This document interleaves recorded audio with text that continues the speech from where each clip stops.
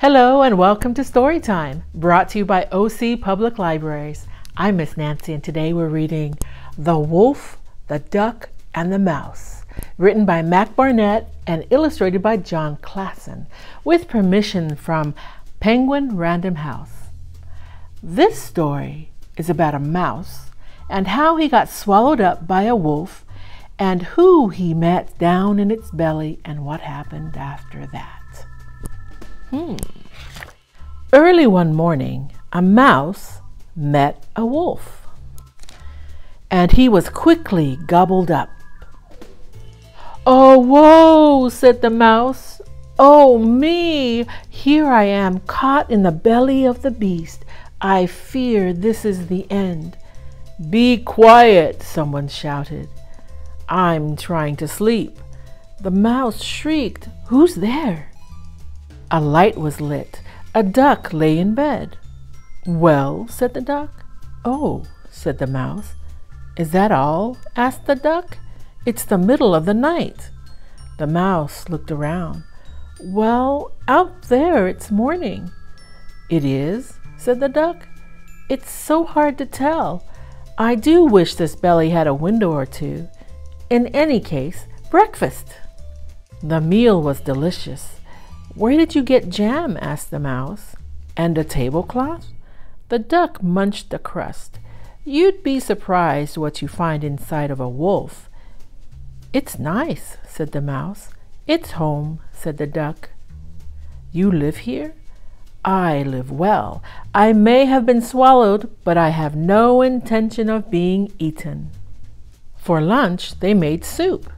The mouse cleared his throat. Do you miss the outside? I do not, said the duck. When I was outside, I was afraid every day wolves would swallow me up. In here, that's no worry. The duck had a point. Can I stay? the mouse asked. Of course, the duck said. This called for a dance. The ruckus inside made the wolf's stomach ache. Oh, woe, said the wolf. Oh, shame. Never have I felt such aching and pain. Surely it must have been something I ate. The duck shouted up, I have a cure. You do? asked the wolf. Yes, an old remedy sure to settle your tummy. Eat a hunk of good cheese and a flagon of wine and some beeswax candles. That night they feasted. The duck made a toast to the health of the wolf.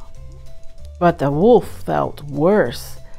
I feel like I'll burst. It hurts just to move. A hunter heard the wolf moan. He fired a shot but missed in the dark. The duck called up, Run! Run for our lives!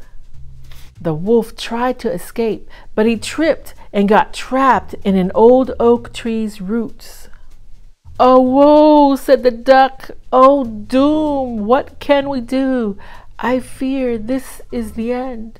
The mouse stood up. We must fight. We must try. Tonight we ride to defend our home.